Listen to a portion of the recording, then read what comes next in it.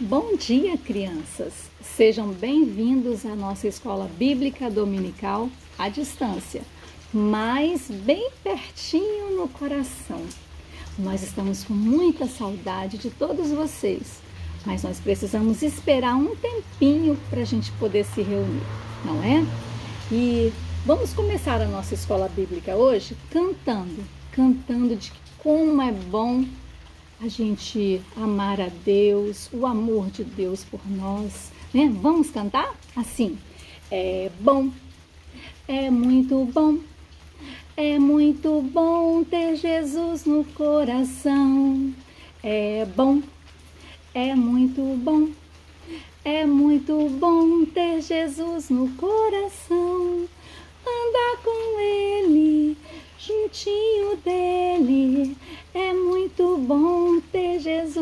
Coração. Andar com Ele, juntinho dele. É muito bom ter Jesus no coração. E como é bom ter Jesus no nosso coraçãozinho, né? O coração que tem Jesus, ele é feliz, ele é alegre, ele tem esperança, ele não é triste nem zangado, é, mas é um coração feliz. E por isso, nós vamos falar com o Papai do Céu agora, agradecendo por ele morar no nosso coraçãozinho. Vamos lá? Vamos fechar os nossos olhinhos e vamos falar com o Papai do Céu. Querido Papai do Céu, nós te agradecemos por essa escola bíblica dominical, porque nós podemos aprender da tua palavra, mesmo estando distantes Obrigado porque o Senhor nos ama, porque o Senhor tem nos protegido. Muito obrigado, Papai do céu. Em nome de Jesus nós oramos. Amém. E hoje, na nossa escola dominical, nós temos um versículo muito bonito. Ele está lá no Salmo 118, no versículo 24, que ele fala assim: Este é o dia que o Senhor fez este é o dia que o Senhor fez. Salmo 118, 24, versículo. E no dia que o Senhor fez, nós devemos nos alegrar, porque é um dia feliz, é um dia ou quando o sol está brilhando, aquele sol maravilhoso, ou quando a chuva cai, molhando as plantinhas para elas crescerem. Então, o dia que o Senhor fez, é maravilhoso. E esse é o nosso dia de descansar, de ouvir a palavra de Deus, né? Por isso nós temos que ser gratos. E sabe, crianças, hoje eu vou contar uma história para vocês. E essa história está escrito na Bíblia, lá no livro de Lucas, no capítulo 2. E vai contar uma história assim, de uma criança, assim como vocês. E essa criança é Jesus. Jesus estava completando 12 aninhos.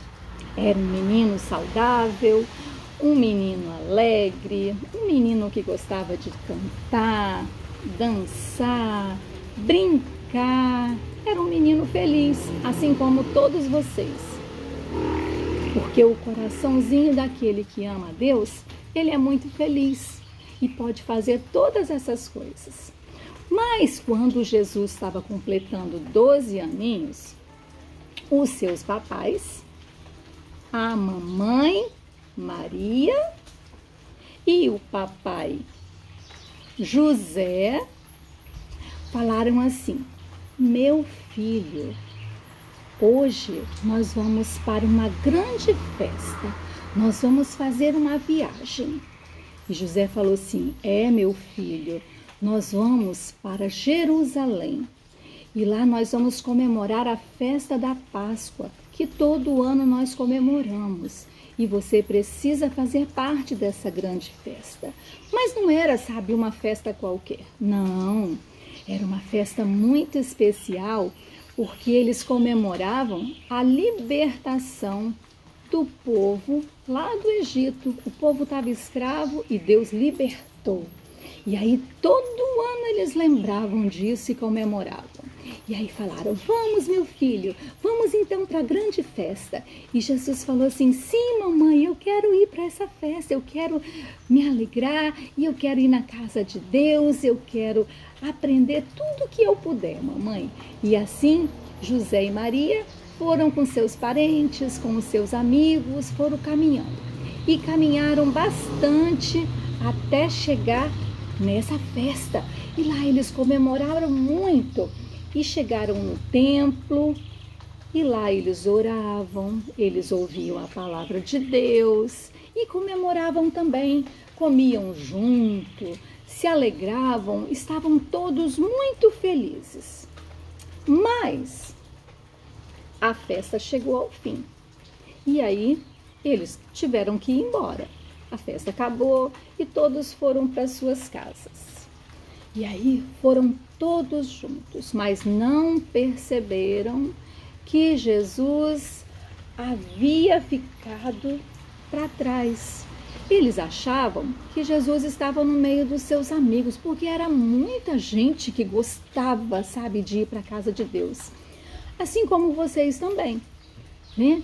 Papai e mamãe levam vocês para a igreja e lá vocês comemoram com seus amiguinhos, vocês se reúnem, vocês ouvem a palavra de Deus, né? Todos nós juntos, né? Nós ouvimos a palavra de Deus, nós cantamos, nós nos alegramos, vocês brincam no parquinho, tantas coisas tem na casa de Deus, né? Aprender aquilo que o Papai do Céu preparou para nós. São tantas lições, né? Como devemos obedecer o papai e a mamãe, como não devemos pegar aquilo que não é nosso, como devemos amar a Deus de todo o nosso coraçãozinho, né? São palavras de vida que a gente aprende lá. Mas aí, José e Maria estavam caminhando para sua casa e depois de um dia perceberam que Jesus não estava no meio, olharam e não acharam Jesus. E aí Maria perguntou para os seus parentes: Vocês viram Jesus? Não, eu não vi Jesus. Você viu Jesus? Não, eu não vi. Não, não está aqui conosco. E José também preocupado foi procurar também. Meus amigos, vocês viram Jesus aonde ele está? Não, não, não. Ai, agora o que vamos fazer? Não encontramos nosso filho. Aí José falou assim: Minha querida, vamos voltar para a festa onde nós estávamos em Jerusalém. Nosso filho deve ter ficado lá. E assim eles voltaram. Voltaram, foram caminhando para a festa, onde já tinha acabado a festa, mas aonde tinha acontecido a festa. Voltaram e procuraram e procuraram. Vocês viram Jesus? Jesus, onde você está? E procurava e procurava. Depois de três dias que foram encontrar Jesus só depois de três dias. E sabe onde Jesus estava? Vocês não sabem onde Jesus estava, né? Pois é.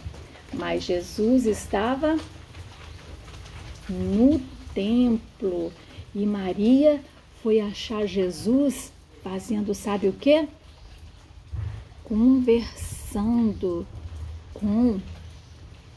Olha aqui com quem Jesus estava conversando, olha com os homens chamados de doutores da lei. É, eram homens muito inteligentes, eram homens conhecedores da palavra de Deus. E Jesus estava lá, conversando com eles, fazendo sabe o que? Perguntas sobre a palavra de Deus. Porque ele queria saber de tudo, mas não só queria saber, ele dava respostas respostas também ao que aqueles homens perguntaram. Já pensou? Jesus com 12 aninhos querendo aprender a palavra de Deus e ainda dando respostas muito sábias. Sabe, toda sabedoria, ela vem de Deus e todos nós podemos ser sábios. Todos nós podemos ter conhecimento. Vocês também. Deus nos dota de inteligência e sabedoria é só nós pedirmos a Deus e Deus nos dá. E assim, Jesus estava lá conversando. E aí Maria falou assim: Meu filho, eu estava tão preocupada com você, meu filho. E aí Jesus falou assim: Mamãe, Por que se preocupou comigo? Eu estava na casa do meu pai. Sabe, Jesus ali falou para Maria e ela ficou preocupada porque ele era um menino. Mas mesmo um menino, ele já reconhecia que lá era a casa do pai dele. Como é nosso pai também. Assim como Deus é o pai, era o pai de Jesus, é o nosso pai também. E quando nós estamos na casa de Deus, não só no templo, porque lá nós nos reunimos e Deus se faz presente, mas no nosso coraçãozinho também, que é o lugar que o Espírito Santo habita e é o lugarzinho que Deus mora dentro do nosso coração.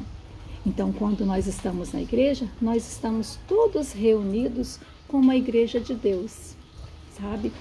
E aí, Jesus, como era um menino obediente, Maria falou: Vamos embora, porque precisamos voltar para nossa casa lá em Nazaré. E aí, Jesus era um menino obediente, falou: Sim, mamãe, vamos voltar para nossa casa. Eu vou embora com a senhora. Vamos embora. E aí eles foram caminhando para a casa deles, foram caminhando, caminhando, até chegar em Nazaré, onde eles moravam. E lá Jesus foi crescendo. Foi crescendo, foi crescendo, foi ficando um rapaz forte, crescia no tamanho, crescia em conhecimento e crescia cheio da graça de Deus. Porque Deus era com eles, com todos eles, porque Deus tinha um plano na vida deles. Né? E assim como na nossa também. Que vocês possam crescer em tamanho, em sabedoria e na graça. E que Deus nos ajude a continuar com alegria indo na igreja, aprendendo da palavra dele e sendo gratos por tudo que ele tem feito na nossa vida, sendo obedientes, respeitando o papai e a mamãe, não só o papai e a mamãe, mas a vovó, o vovô, o titio, a titia, o nosso pastor, as autoridades. Sabe por quê? Obediência é uma prova de amor e agrada a Deus. E quando nós agradamos a Deus, quando nós somos obedientes, Papai do céu derrama muitas bênçãos sobre nós. Então, criançada, nada de ser desobediente, nada de ser mal criado, né? Porque Papai do céu não gosta.